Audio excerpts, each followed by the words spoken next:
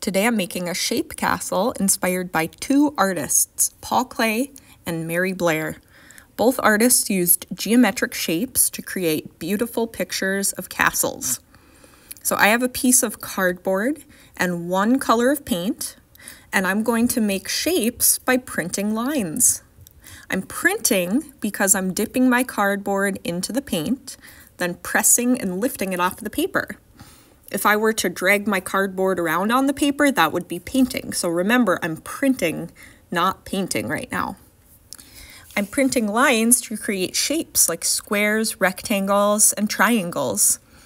I'm building my castle from the bottom up, almost like I'm building it out of blocks.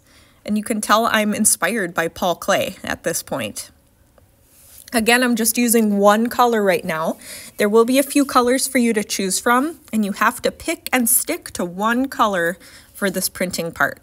And you can use the other colors later when it's time to paint. When I'm done building my castle, I'll use lines to create flags and even some patterns and shapes inside the squares. Now I'm thinking about the art of Mary Blair and the whimsical patterns she included in her castle paintings.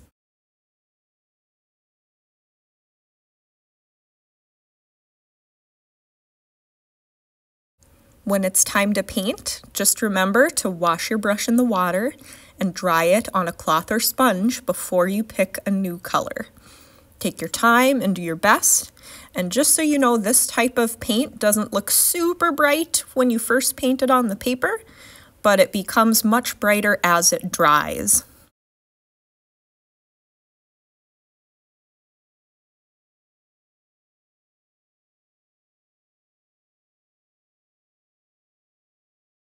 When my castle painting is dry, I'll cut it out and glue it onto a colorful background. Make sure to put glue around the sides of your castle. You don't have to worry too much about the middle.